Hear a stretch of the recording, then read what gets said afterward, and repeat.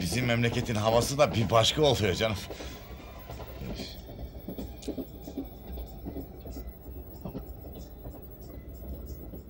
Ah gözüm!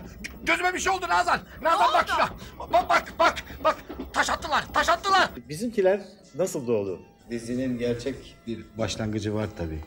Yani bir hareket noktamız var. O da benim baba evimi anlatmamdan kaynaklanmış, bir roman denemesinden kaynaklanmıştır.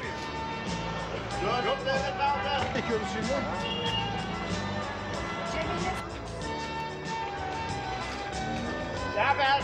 He! İyi kapalı iyi!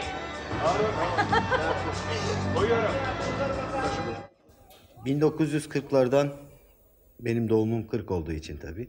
Ee, evimi, ailemi, babamı e, bir çeşit nostaljik bir öykü bu. Ee, onu anlatmaya yönelik bir deneme yapmıştım. Televizyona bir dizi söz konusu olunca da bir aile düşündük.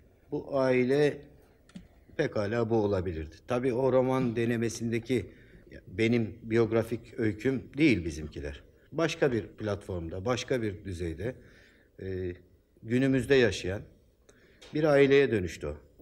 Öyle dışarıdan carçurt etmek kolay. Carçurt etmiyorum Basri Bey. Doğru konuşun. Basri değil efendim, Sabri. Ya affedersiniz Sabri Bey. Ayrıca şunu söyleyeyim, ben bu işin heveslisi değilim. Buyurun siz yapın. Sayın Özyağcılar, Şükrü nasıl bir insan? Ee, siz nasıl bir insansınız? Şimdi Şükrü bir defa demokrat bir adam. Çevreci. Ailesine çok düşkün. Sabırlı ama ben onun kadar sabırlı değilim. O sabırı toplumsal olaylarda gösterdiğisine biraz kızıyorum. Ee, bir de son derece e, şeysiz yani e, ölçüsüz bir hoşgörüsü var çevreye karşı. Bizim eve öyle zararlı maddeler girmiyor artık Nazım. Bir haftadır tavuk yiyoruz.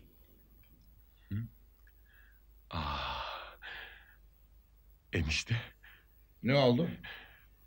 bak. Tavuk dedin de aklıma geldi. Az kalsın unutuyordum. Harika bir iş var. Saçmalama Nazım ne işi ya? Tavuk çiftliği enişte. Aile içindeki saygı hiyerarşisini çok güzel yakalamış. Özellikle seyircilerin çok üzerinde durduğu abisine karşı sonsuz bir saygısı var. Hatta onun yüzüne tükürse dahi. Ama bu yani bizde Anadolu'da gelen e, genel geçer bir olay. Yani büyük abi baba yerine falan e, geçiyor.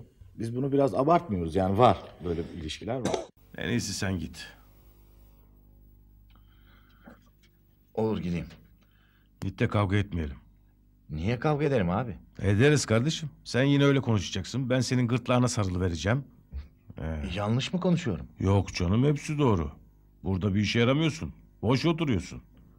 Hadi Şükrücüğüm. Hadi git biraz hava al. Sayın Ercan Yazgan, siz e, televizyon seyircileri daha önce Perihan abla dizisindeki şoför İsmet rolüyle tanıyorlardı. Şimdi de kapıcı Cafer oldunuz. Bu iki rol e, arasındaki değişiklik sizde nasıl bir etki yarattı? Kapıcı Cafer e, İstanbul şartlarında yaşama savaşı veren bir kapıcı.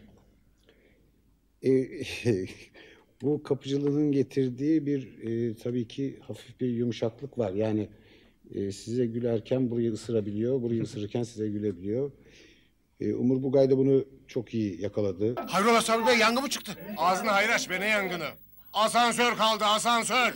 Asansör mü? Nerede? Çık yukarıya indir şunları. Baş üstüne. Kapıcılar pek memnun değiller benden. Şoförler çok memnundu da. Evet, ne diyorlar size e, kapıcılar? Nasıl eleştiri getiriyorlar? Ya şimdi mesela e, kapıcılar diyorlar ki e, Mehmet Akan için vallahi diyorlar yani o biraz dikkat etsin kendisine fena yapacağız onu diyorlar. Kapıcılara bu kadar yüklenilmez. Sen gidiyorsun horozcu Yavuz'a esas duruş gösteriyorsun oralarda duruyorsun diyorlar. Kapı, ben ağzını burnunu kırarım onu abi diyor. Cafer! Anam katil geldi. Buyurun. Bu ne soğuk aslanım? Vatandaşı donduracak mısınız? Yakmıyor musunuz kaloriferleri? Yanıyor valla Yavuz Bey. Söyle o kocana bugün bir yere adım atmasın. Kömür gelecek. Sen de ona söyle. Akşama kadar ben dikilemem burada. İşim var. İşim var duramam diyor. Ne işi varmış? Çakmakçılık yapacak değil mi? Vallahi zabı tutturur attırırım apartmandan söyle. Zabıt tutturur attırırım diyor. Çok attırır. Cafer! Buyurun! Neredesin sen? Kalorifere bakıyorum efendim. Bu kapı niye açık? Temizlik yapıyorum ya efendim. Şimdi kapatacağım. Önüne gelen içeri giriyor beyim. Ben sana kimsin, necisin diye soracaksın demedim mi? soruyorum efendim. hele biri haberim olmadan bir girsin. Sus! Yalan söyleme. Tepelerim halim Allah. Sayın Mehmet Akan, e, siz de bu dizinin e, yine ilginç karakterlerinden birisiniz, yönetici tipi. Hiç yöneticilik yaptınız mı?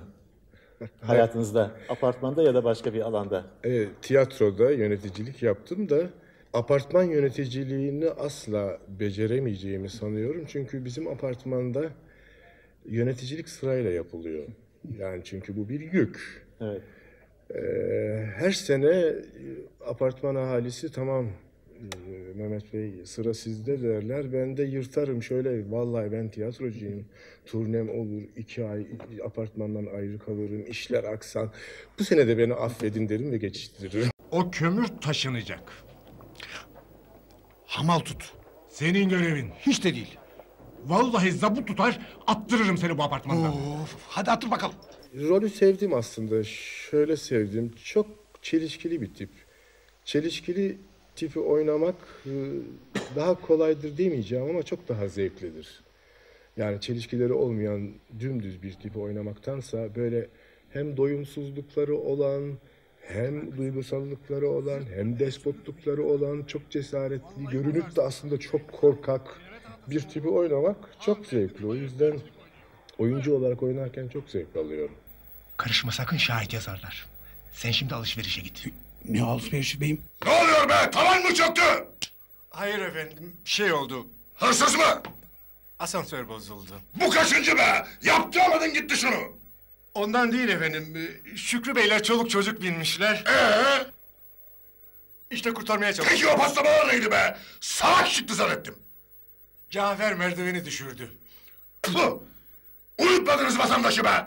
Bir apartmanda e, bu horozcu Yavuz gibi bir sakin varsa herhalde... Benim gibi bir yöneticiye ihtiyaç var, evet. Gibi bir yöneticiye ihtiyaç var. Ne diyorsunuz Sayın Aykut Oray? Valla e, şöyle söyleyeyim. Şimdi toplumlar biliyorsunuz layık oldukları insanlarla yönetilirler. Bizim de bu apartman düzenimiz böyle. Yöneticimiz o apartman düzenine layık bir yönetici. Ne o koçum bir durum mu var? Yok canım. Ne olacak? Varsa bir durum kırıvereyim kemiklerini. Hafif gülen, işte hafif serseri, hafif içkici. Ama yalnız kendini düşünüyor ve kendine göre yorumluyor. Bir de horoz tutkusu var. Ha, evet. O- gibi. Ama o yani o çok önemli bir olay. Bugün İstanbul'da da var o, Anadolu'da da var. Büyük bir horoza şey var, e, tutkunluk var. Mesela bana soruyorlar, hakikaten sen bu işi yapıyor musun? Horozların nerede? İşte ben bazı yerde efendim kirayla alıyoruz horozları diyorum. Bazı yerde evde bıraktım diyorum. E, diyorlar ki yani merakın var mıdır? E, İşte var ama yani işte ilgilenecek zamanım yok gibi. Öyle geçiştiriyorum. Buyurun beyefendi.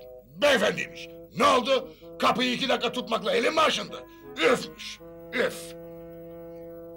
Bizim insanlarımız tabirine biz çok iyi uyuyoruz yani ekip olarak. Değişik tiyatrolardan, sinemadan, bizim e, çok geniş bir de kamera arkası kadromuz var. Çok değişik sosyal çevrelerden insanlar bir araya geliyorlar. Bizimkiler olayını üretmek adına ve bir aile oluyoruz. Pek fazla sorunumuz olmuyor. Şöyle diyeyim, e, çok güzel bir kadromuz var. Hem teknik anlamda hem oyuncu kadrosu olarak ve bence yani şu güne kadar Türkiye'de yapılmış dizilerin içinde böyle güzel bir kadroyu e, ilk defa bir araya getirdi diyebilirim. Uyumlu olması açısından. Dövüşe mi gidiyor küçük beyler? Ha? Dövüşe dövüşe. Maşallah maşallah. Başarılar. Karpuzcu geldi. Karpuz. Karpuz. Gayretsiz. Hadi. Şimdi belediyeye haber vermezsen. Tabağına para yok. Şuna bak şuna bak. Meydanı boş buldu. Ver şunu bana. Ver diyorum sana. Ver. Ver bırak bırak. Al. Al burnum. Burnum. Burnum. Kan çıkmazsa para yok. Karpuz.